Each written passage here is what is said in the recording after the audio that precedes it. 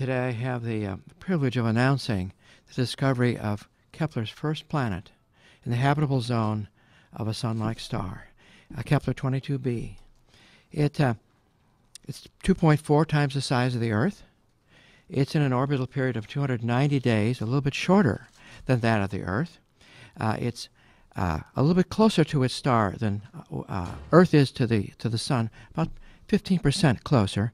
But the star is a little bit dimmer. It's a little bit uh, lower in temperature, 220 degrees lower in temperature. It's a little bit smaller. So that means that that planet, Kepler 22b, has a rather similar temperature to that of the Earth.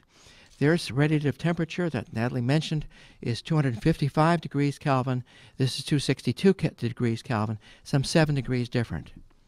So if the greenhouse warming were similar on this planet and had a surface, uh, it would be its surface temperature would be something like 72 Fahrenheit, a very pleasant temperature here on Earth. The star is some 600 light years away, so it's not terribly far away, but not terribly close either.